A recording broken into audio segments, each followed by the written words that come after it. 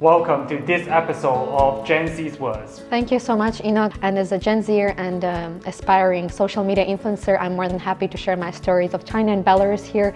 Um, so last year was a big year between Exactly. the two countries, right? The two countries celebrated uh, the 30 years of official diplomatic relations. As a youth representative, you spoke and you hosted events. Um, can you tell us a little bit more about what happened last year and what was some of the most memorable moments for you? It was a very big official event organized by All China Youth Federation and the Embassy of the Republic of Belarus to China. So I was very honored to be a host in Chinese and Russian.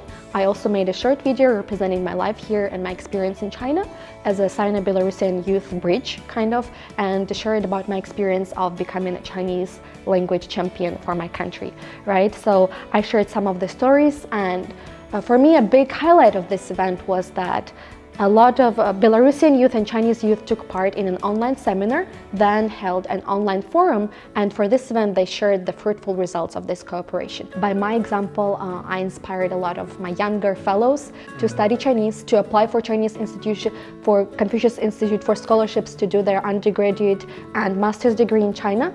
Uh, talking about One Belt One Road, it actually pushed this education exchanges because uh, we had a lot of opportunities to apply to, to study in China with One Belt One Road scholarship. Chinese language faculties have been opened all around my country in the cities of Grodno, Brest, Minsk, Vitebsk, so all over my country.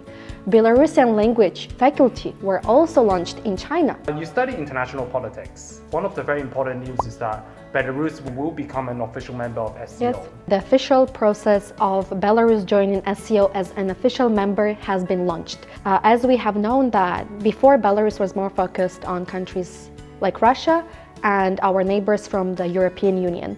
But now in this time of global crisis, uh, our country is realizing that we need to use the potential and start building ties with other regions and connect connect better with Eurasia, with China, with other countries that, you know, we need to connect together. And this means a lot for our youth.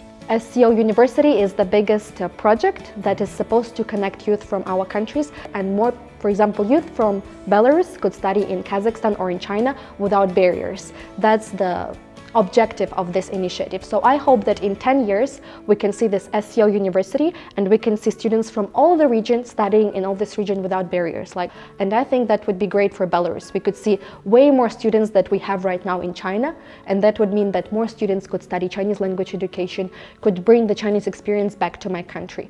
It, it marks the 10th year of the um, uh, Belt and Road Initiative officially proposed since in 2013.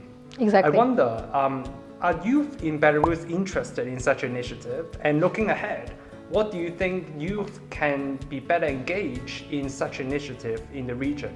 If you ask the youth right now about uh, BRI and SCO, I think a lot of my friends in Belarus already have an idea of what that is. Uh, I think that most of the youth in Belarus support this initiative for the reason that they realized this is going to bring actual benefits for them. Uh, One Belt, One Road and SCO created thousands of job opportunities for youth in Belarus. For example, the biggest project for China in Belarus, Great Stone, China Belarus Industrial Park, has so many companies from China, US, and Russia like Huawei, ZTE, uh, Chinese uh, traditional medicine enterprises offering jobs for specialists in Chinese in economics, Chinese language, translation, finance, chemical engineering, etc. So this means direct jobs for Belarusian people. Who would be against this initiative, right? Uh, Chinese Putonghua, of course, is one of the more difficult languages to learn in the world. I remember when I started learning Chinese, we had around 15 people in my class, but to the end of the semester, we just had six. so you really have to be persistent and consistent. It's my ninth year studying Chinese, and I'm about to take HSK 9, HSK 8 to 9 this year in order to be able to become an official translator from Chinese to English.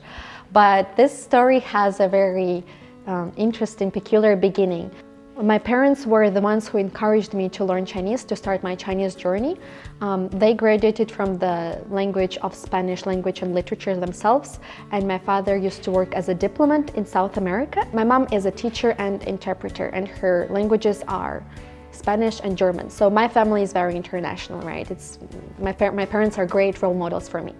And nine years ago, I remember that my dad told me um, a very important thing that is still deep in my mind. He told me that if you keep learning these European languages, it's not going to surprise me because all of them are very similar and it's going to be very easy to master them. But if you learn one Eastern language, I will be very proud of you because it's very challenging and none of our family members speak these languages.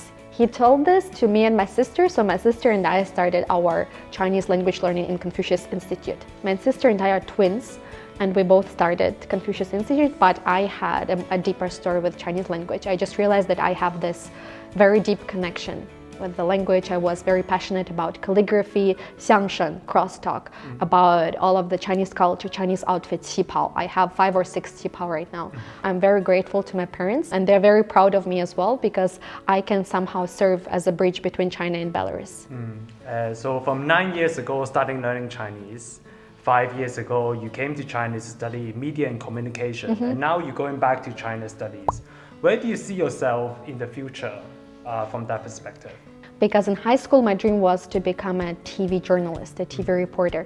And I actually made my dream come true. I'm very thankful to China and all the opportunities it provided for me. And during my last year of my studies in Tsinghua, I thought that I would like to make a, bigger contribution and I would like maybe to be an official representative for my country in China.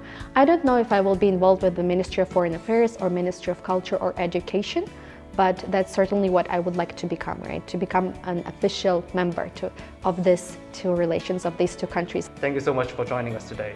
Thank you, Enoch. It was really my pleasure to share some of my insights on China-Belarus youth and on China-Belarus experience this year. I'm more than excited. I'm looking forward for the fruitful cooperation of two countries. And